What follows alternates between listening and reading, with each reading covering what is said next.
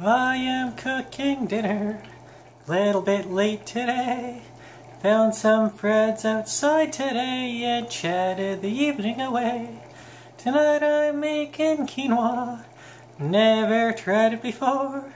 It's gonna be delicious, I think, so it's cooking on the stove.